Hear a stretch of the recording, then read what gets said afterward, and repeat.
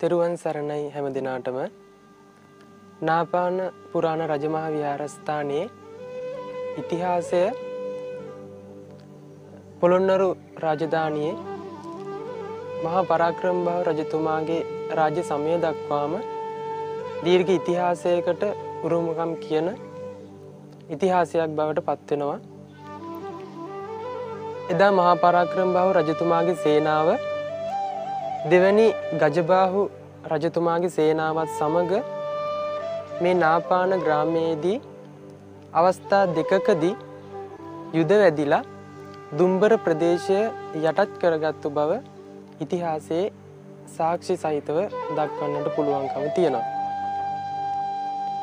ඒ අනුව මේ නාපාන ග්‍රාමය ඓතිහාසික අතිනුත් ආගමික අතිනුත් මේ මහා පරාක්‍රම බහු රජතුමාගේ රාජ්‍ය පාලන සමය දක්වාම දිව යනවා.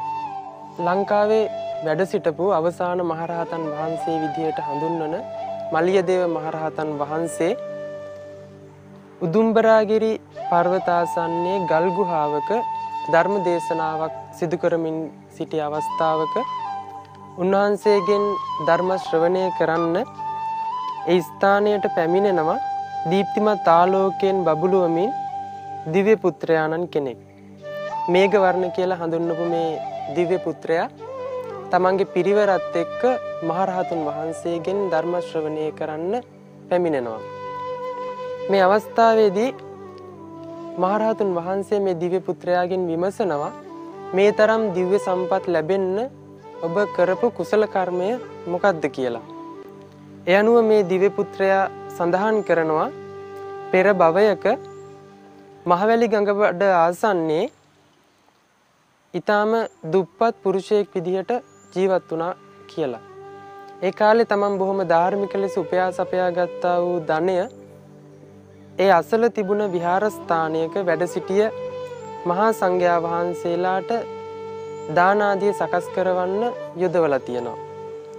ඒ අනුව එම දිව්‍ය පුත්‍රයා පෙර භවයේ ඒ ආකාරයට දන්පැන් පූජා කරපු ඒ විහාරස්ථානය නිල්පව් විහාරය කියලා තමයි ඉතිහාසයේ සඳහන් වෙන්නේ. මේ නිල්පව් විහාරය වර්තමානයේ වල් බිහි වෙලා තියෙන යහන්ගල කියලා ඉතිහාසඥයන් සොයාගෙන තියෙනවා. මේ යහන්ගල විහාරස්ථානයේ ධර්මශාලාව වර්තමානයේ මේ නාපාන පුරාණ විහාරස්ථානයේ විහාරය පිහිටා ඇති ස්ථානයේ තිබුණ බවට තමයි සාක්ෂි හමු වෙන්නේ. මේ ස්ථානයේ පළමුවෙන්ම විහාරස්ථානයක් ඉදිකරවලා තියෙන්නේ ගම්පොළ රාජධානි සමයේ හිටපු සෙංකඩ බිසෝ බණ්ඩාර කියන රජ මෙහෙසිය.